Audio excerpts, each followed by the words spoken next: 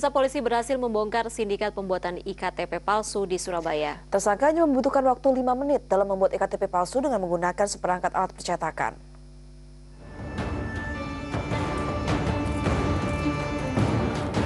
Pemasuk Kartu Tanda Penduduk Elektronik atau IKTP, Agung Wicaksono, 35 tahun, warga Ngasinan Gresik, serta Nana Subianto, 42 tahun, warga Darmo Kali Surabaya, ditangkap Satreskrim Polrestabes Surabaya minggu siang. Dari dalam rumah Agung, polisi menemukan barang bukti dengan jumlah yang lebih besar. Dalam pemeriksaan diketahui peran keduanya terpisah.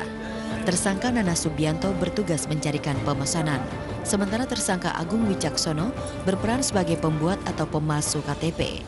Diduga jasa pemalsuan ini telah beraksi sejak satu tahun lebih dan terbongkar setelah polisi mendapat laporan dari masyarakat. Saat memasukkan KTP, tersangka hanya membutuhkan waktu lima menit dengan menggunakan seperangkat alat percetakan.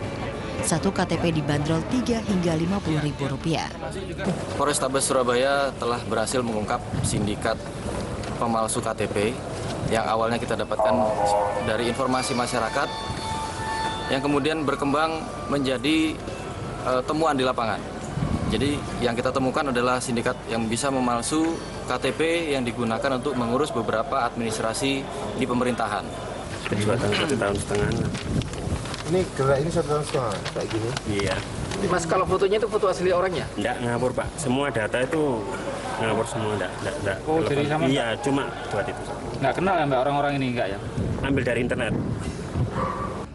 Polisi sendiri hingga kini masih terus mendalami apakah ada keterlibatan pihak lain dalam sindikat pemalsuan KTP ini.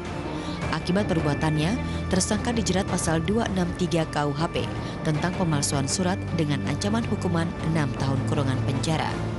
S. Yuda Prawira, MNC Media, Surabaya, Jawa Timur.